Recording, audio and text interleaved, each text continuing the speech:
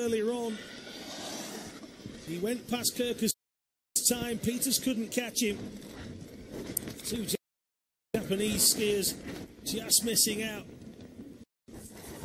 It's been a day full of action, a few spills as well, it has to be said.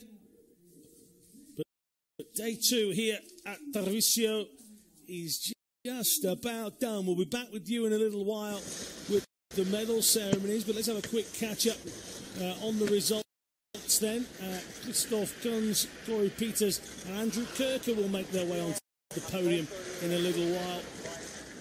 It's tough luck for Akira Kano, finishing in behind.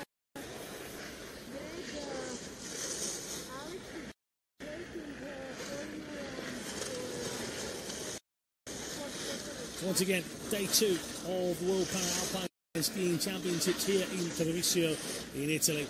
Uh, and the action itself has concluded. We will have the medal ceremony for you in a little while. Once again, for all the information you need to know, www.paralympic.org forward slash alpine dash skiing. Uh, you can follow us at Alpine uh, on Facebook, Instagram, and Twitter as well. Get in touch with us if you've got any questions questions uh, about the event, you want to just let us know where you're watching from, and please do use the hashtag for the event, which is Tarvisio 2017. Lots of bumps, lots of spills, lots of quality skiing that has given us some sensational times down this piste.